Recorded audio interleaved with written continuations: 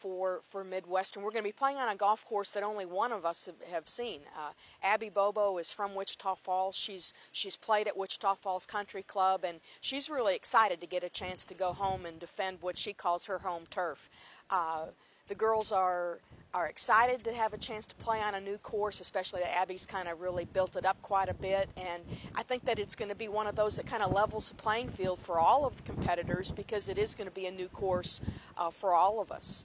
Our tournament in Austin uh, really was kind of, I, th- I, think it was a wake up call, and we responded to that. Uh, we, we did play fairly well.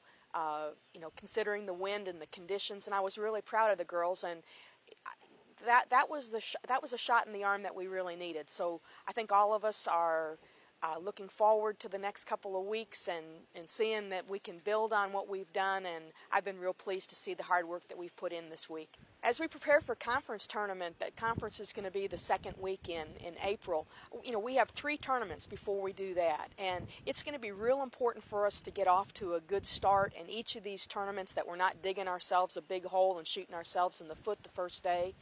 And I think that the confidence that we can establish for ourselves and the, the mindset that we can compete, it was really good for us to play with Tarleton and St. Edwards at the uh, Austin tournament and to really see that you know we're close. Um, you know we do have the ability, and it's it's going to be uh, it's, it's going to be very important for us to, to maintain a positive attitude even when we don't get the bounce or we don't make the putt that we need. And I guarantee you, this last, you know, we had a few days off before uh, for spring break, and we came back and we've had uh, four great days of practice so far. They'll practice again tomorrow a little bit, and we'll jump in the van on Sunday morning and, and get ready to really have a good tournament in Wichita Falls.